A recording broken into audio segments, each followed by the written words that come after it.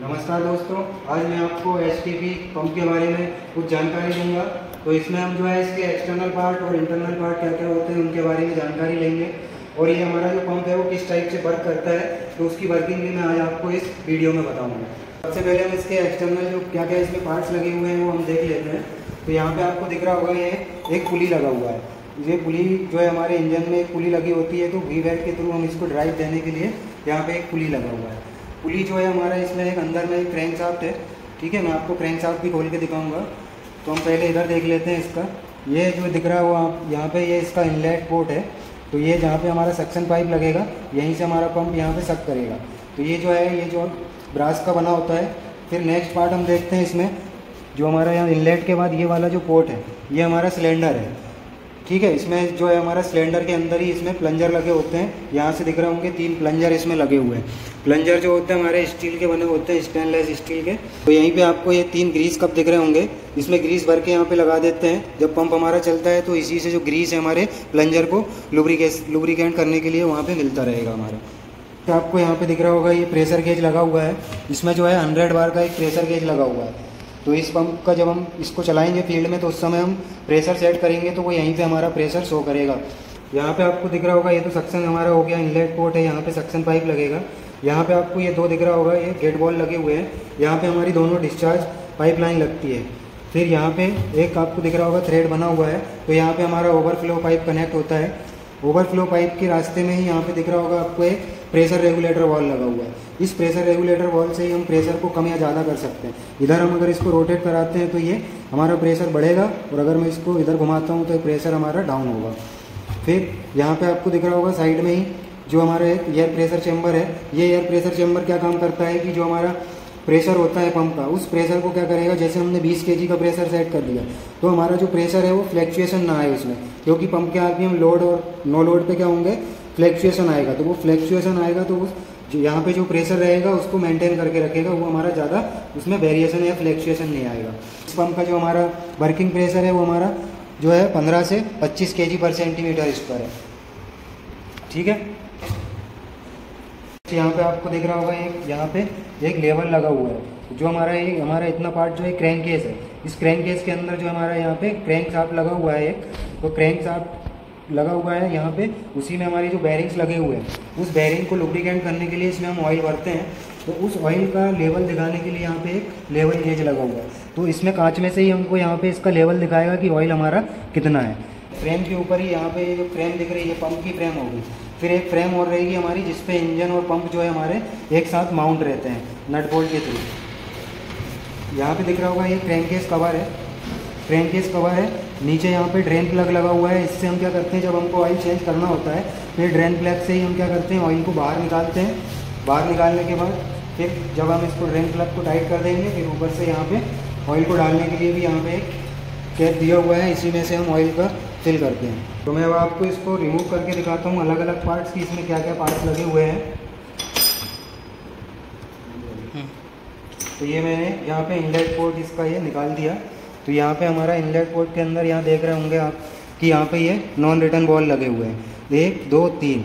इसमें तीन non return ball लगे हुए हैं। इनका काम क्या होता है? ये वन वे बॉल होते हैं, जो ये लिक्विड को अंदर जाने तो देंगे, लेकिन वापस बाहर नहीं आने देंगे। तो मैं आपको तो मैं आपको क्या करता हूँ कि यहाँ पे जो सिलेंडर लगा हुआ है सिलेंडर को रिमूव करके दिखा रहा हूँ। तो ये देखिए ये सिलेंडर को मैंने बाहर निकाल लिया मैं आपको यहाँ पे तीन, ये स्प्रेडर लगे हुए हैं। ये स्प्रेडर का काम क्या होता है, जो हमारे प्लंजर है, वो प्लंजर को होल्ड करने का काम करता है। और इस स्प्रेडर को लॉक करने के लिए यहाँ पे एक प्लेट लगी हुई है। इस प्लेट को यहाँ पे हमने स्क्रू से टाइट करके रखा हुआ है। ठीक है? और यहीं पे आपको ये देखिए, तीनों ग्रीस निप्पल भी लगे हुए हैं। इसके अंदर क्या होता है, इसको टाइट करते हैं तो यहाँ से ग्रीस निकलता है। तो प्लंजर को लुब्रिकेंट करने के लिए भी यहाँ पे ग्रीस कप लगे हुए हैं तीनों। फिर इसके अंदर जो है हमारे, इसके अंदर पूरा पंप किट लगा हुआ है। पंप किट और ओरिंग्स लगी हुई है, जो कि यहाँ पे लीकेज को रोकता है। तो ये देखिए, यहाँ पे ये लॉकिंग प्लेट को मैंने निकाल दिया। अब मैं स्प्रेडर को आपको खोल के दिखाऊँगा। तो स्प्रेडर को खोलने के लिए भी हमारे पास एक पंप इस, इस एक यहाँ पे देखिए स्पेशल टूल है इसके लिए। स्प्रेडर खोलने के लिए यहाँ पे एक पंप स्कैनर है। ये देखिए स्प्रेडर को मैं यहाँ से रिमूव कर देता हूँ। इसके बाद इसमें अंदर में ही पूरा हमारा पंप किट लगा हुआ है।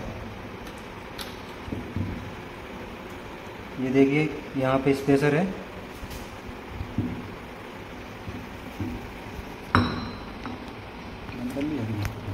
ये देखिए, इसमें ये पूरा पम्प किट लगा हुआ है अलग अलग ये देखिए पूरा, ये रबर के गैस किट लगे हुए हैं ये। इसको पूरे को पम्प किट बोलते हैं।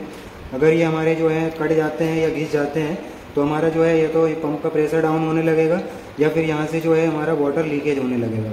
तो जब भी ये कट जाएगा तो इसको हमको पूरा नया चेंज करना है। ठीक है तो मैं अब इसको पंप किट को अंदर इसमें पंप सिलेंडर के अंदर फिट कर देता हूँ। ये इसको हमने यहाँ पे अंदर डाल दिया। अंदर फिट करने के बाद इसमें ये आपको स्पेसर डालना है। इसमें भी आपको ध्यान रखना है, ये स्लॉट बना हुआ है, ये हमारा पंप किट की साइड जाना चाहिए।